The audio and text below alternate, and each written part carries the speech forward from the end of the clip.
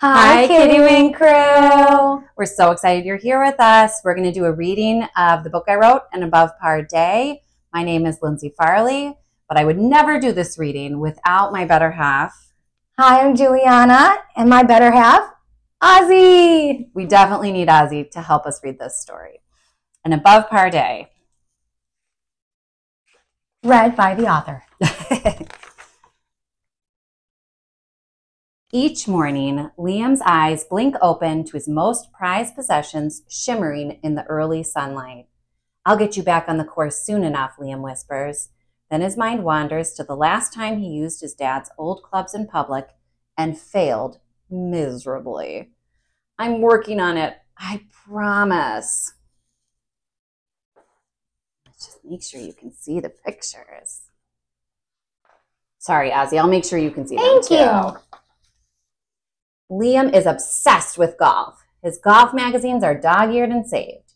He barely blinks while watching the tournaments on TV in fear of missing any tips, and his putting green has weathered many practice shots.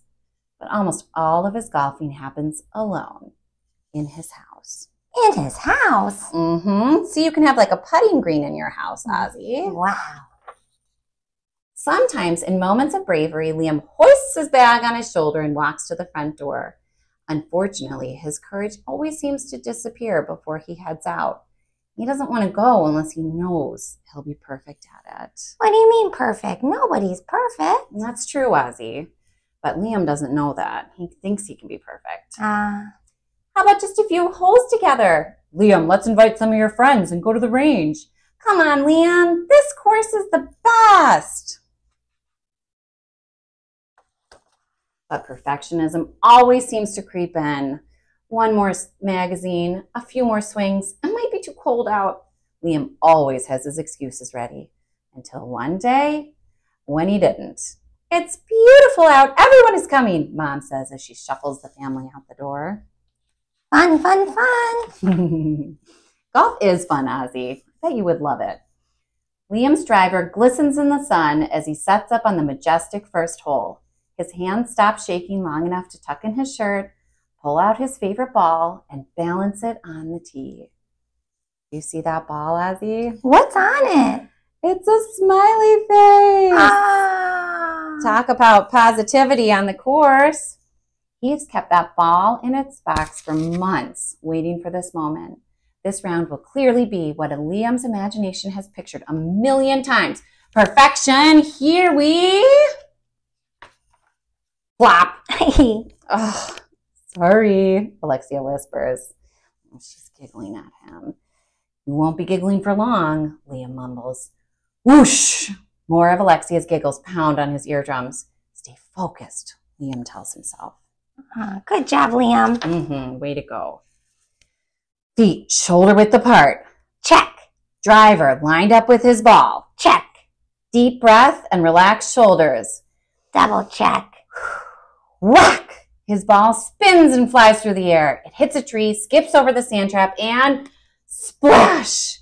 Liam's heart and prized ball quickly sink. Wait a minute. It's in the water. That's good. No, water is not good in golf. Oh, man. It's fun other times, but not with golf. Dad swings perfectly. Alexia and Mom take their turns. Their balls magically land within two feet of one another. Then there are three, not four, shiny spheres glistening on the fairway. Liam drops his head and his new boring white ball in the water hazard spot and tries to focus. As slowly as mud, he makes his way to the green. Finally, he hears the blink this is nothing like the tournaments on TV, Liam grumbles. Oh, no. By the end of the first hole, they all add up their shots. Liam tries to remember each horrible swing. Everyone is playing better than me, Liam mumbles under his breath. Oh, Liam, you're doing great. That's right, Ozzie. Thank you for that reminder. The next several holes are more of the same disappointment for Liam. Mom, Dad, and Alexia keep exchanging compliments and laughter, but Liam can't stop replaying his many, many, many shots out of the sand. A series of poofs of golden glittering sand. I love sand. sand is fun at the beach and at the playground, but not on the golf course. Oh man, water and sand. I know golf is a little complicated, Ozzie, isn't it? I'm not sure I've ever had a better chip than the one on the third hole, Mom says. Well, what about the ball Mom lost in the rough? Liam quietly wonders. Sounds like Mom is focusing on the positive. Good job, Mom. Yeah. As they round the corner, the snack cart pulls up next to them. Good timing. I think we all deserve a little something for our amazing efforts so far, Mom says. Not me. I don't deserve it, Liam whispers to himself. Hey, bud, you know, I've been playing golf for 27 years and I've never come close to playing like the pros, but I happily come back. I never remember how close I was to par. I just remember the memories. I'm not sure this is a memory I want to keep, Liam grumbles. But memories happen.